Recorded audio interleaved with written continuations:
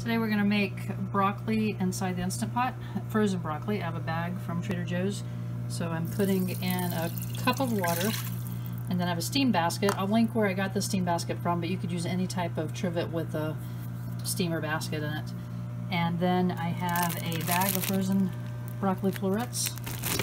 I'm going to pour that into the basket.